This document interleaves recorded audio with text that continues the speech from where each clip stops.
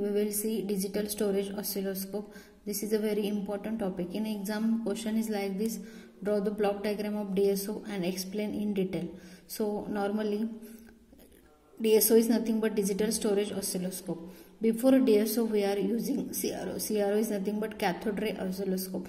But cro we can say as this is analog and this dso is a digital. Means we can't store a waveform in cro but that is available facility of storing any type of a waveform is available on DSO.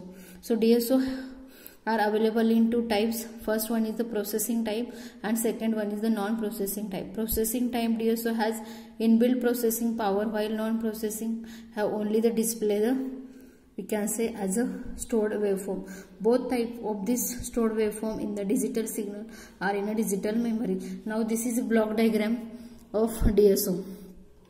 From this block diagram you can see that uh, means first we apply input signal to amplifier then digitizer digital memory analyzer waveform reconstruction like this. So by using the DSO waveform can be stored digitized in a digital memory and to retrieve the display on a screen. As long as power supplied to the memory, the waveform can be displayed indefinitely. Now this is a figure. This is very important. We call this as a block diagram.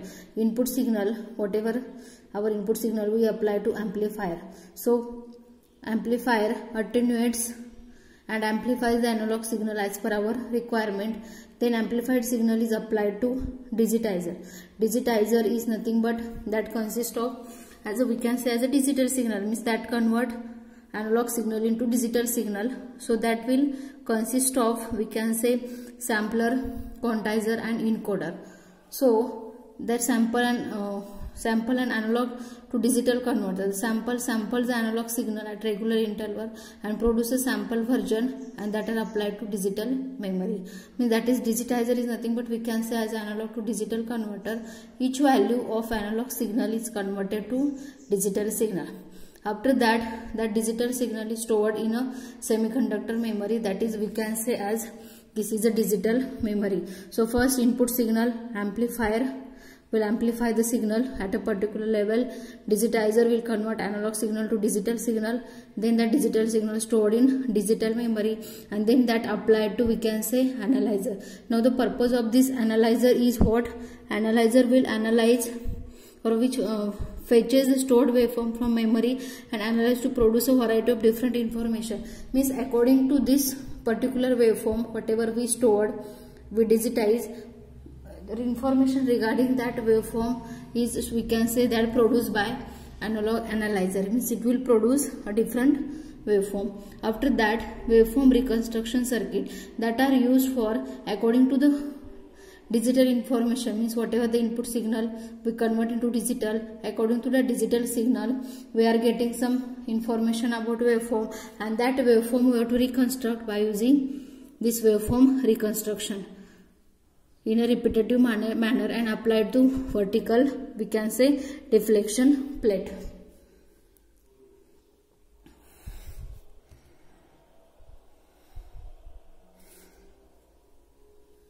Then sweep vertical deflection plate. Then the sweep of the time base sorry. Apply to vertical deflection plate. That is nothing but a CRT here we are using one horizontal amplifier time base trigger and clock. Now trigger and clock are just nothing but triggering purpose. Clock is to provide a clock and time base generator to set a particular we can say as a time. So that sweep or time base of a sawtooth waveform that is amplified by uh, horizontal amplifier applied to horizontal deflection plates. So that CRT will display the stored digitized waveform. So advantages is nothing but you can say digitized signal can be stored for a long time. Signal processing is possible. Cursor measurement is possible. It is capable of displaying xy plot pv diagram bh curve. Then applications we are used for ac voltage measurement ac current measurement of frequency, time period, inductance, capacitance, then in radar, medical applications to analyze TV waveform, to observe the radiation pattern generated by transmitting antenna.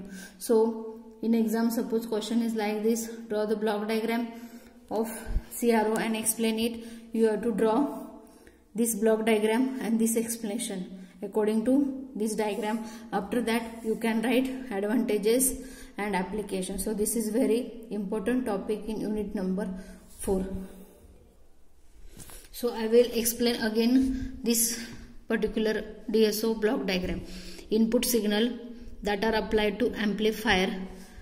Amplifier will amplify the input signal to a particular level. Then it is applied to digitizer. Digitizer is nothing but we can say it consists of sample and hold circuit means sampling quantizing and encoding.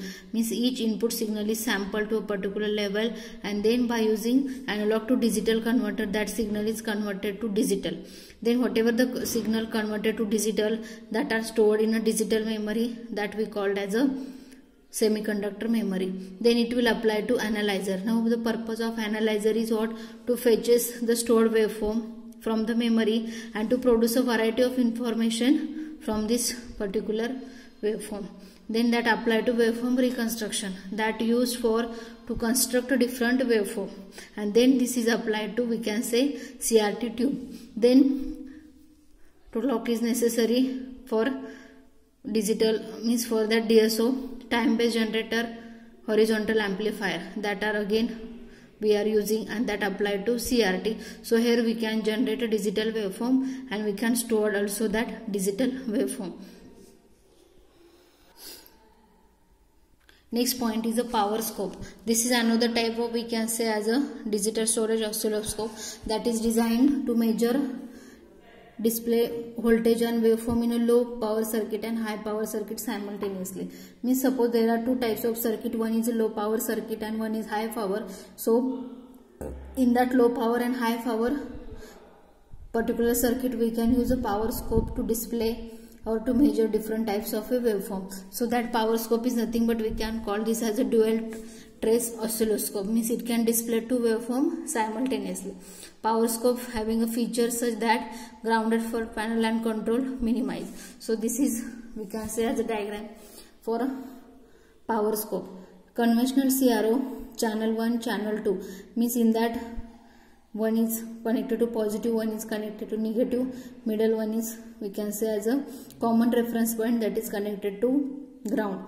And for channel 2 again positive and negative. So this is a conventional CRO by using this conventional CRO it is not possible to display the waveform at a time. But that problem overcome in a power scope. In a power scope there are two separate channel. Means channel 1 positive negative channel 2 positive negative means by using this power scope you can display the two waveform simultaneously. So power scope is nothing but we can say advantages as compared to conventional CRO so in exam some question is like this.